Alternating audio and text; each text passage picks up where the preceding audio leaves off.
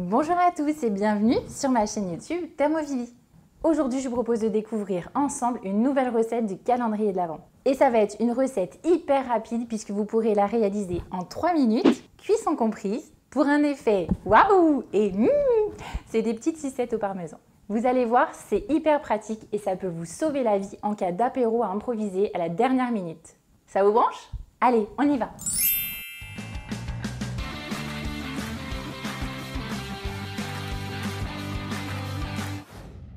Pour réaliser ces petites tuiles au parmesan en forme de sucette, il vous faudra du parmesan râpé, c'est encore meilleur s'il est fraîchement râpé, des pics à brochettes, des graines de pavot, des graines de sésame et une cuillère. Préchauffez le four à 200 degrés et sur une plaque siliconée ou recouverte de papier sulfurisé, déposez une cuillère à soupe bombée de parmesan râpé, puis un pic à brochettes qu'on va recouvrir avec un petit peu de parmesan. On va bien tasser avec le dos de la cuillère pour lui donner une forme de sucette. Et on va saupoudrer de quelques graines de pavot. Vous pouvez également en faire avec du sésame.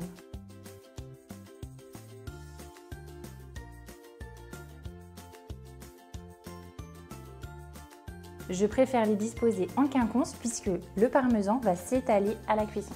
Si vous voulez, vous pouvez même rajouter quelques épices sur les sucettes, un peu de paprika, du cumin, du curry ou alors pourquoi pas du piment d'Espelette. Et on va enfourner pour 3 à 4 minutes dans un four bien chaud à 200 degrés.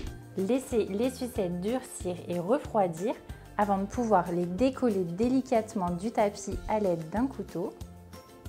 Et on passe à la dégustation moi, j'adore ces petites sucettes au parmesan parce que c'est super joli sur une table, ça se mange facilement.